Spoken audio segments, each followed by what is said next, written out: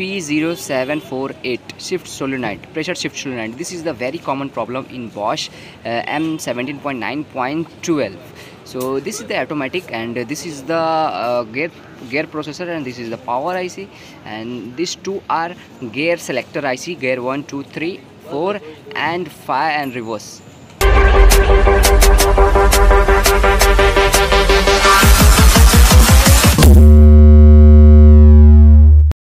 hello everyone this is Ozil. So welcome back to my channel in English. So in this video we have a Bosch ECU ME 17.9.12 and P0748 shift solenoid pressure control A. This is the very common problem in Hyundai Kia automatic ME 17.9.12 so we will discuss all the things where can get through the diagrams and also through this ECM so yeah here is our ECM and here is our diagrams. I have drawn each IC where used to change the gear from one to another and reverse. Before starting the video I will tell you something about the Remzon.in here is a Remzon website indian website. You can visit here and download the ecm pinouts related to the all ecms and all ics pinouts so this is our processor and this is our power IC and this two gear changer IC and gear system IC so you can tell anything which used shift from one gear to another gear another gear to third gear third gear to fourth gear and reverse gear also through TLE 6288 this IC is very sensitive. If there is any problem it will not work any problem in feedback section it will not work. So this processor ST10F275 this IC command to TLE6288 IC when this processor TST10 get all the necessaries information from the engine processor and command to this IC and uh, when command this processor to this IC it will be change and uh, uh, also it get the signal to the processor. And this is the shift solenoid pinout.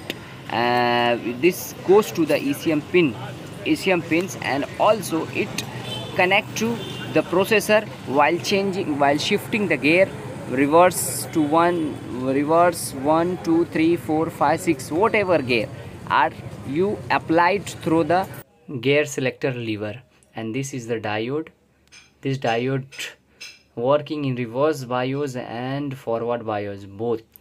When you apply the gear first gear second gear third gear fourth gear reverse gear whatever you applied through the selector gear selector lever on that time the processor get the knowledge and come get the knowledge and command to the ic 60le6288 and this ic this ic uh, produce voltage to the solenoid valve ground voltage to shift gear number one and gear number two and gear number three. Depend on when you shift the lever.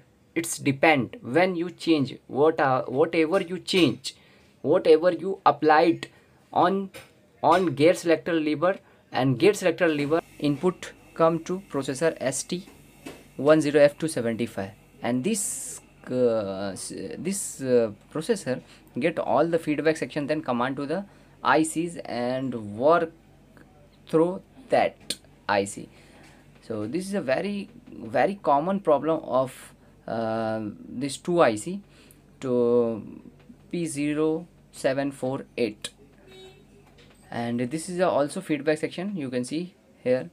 Uh, when you uh, when you shift the gear and it will it will command to the this IC for changing the gear and this changing the gear feedback also come. Here is the feedback. You can see here is a feedback section of uh, first second third fourth fifth and reverse gear feedback section. When solenoid shift on that time the feedback section come also in uh, this gear processor. Here is the uh, feedback uh, feedback uh, lines you can see here the three resistance and one MOSFET one uh, diode and one one more resistance also attached to whose input feedback lines. And here is a 12 voltage for the reference.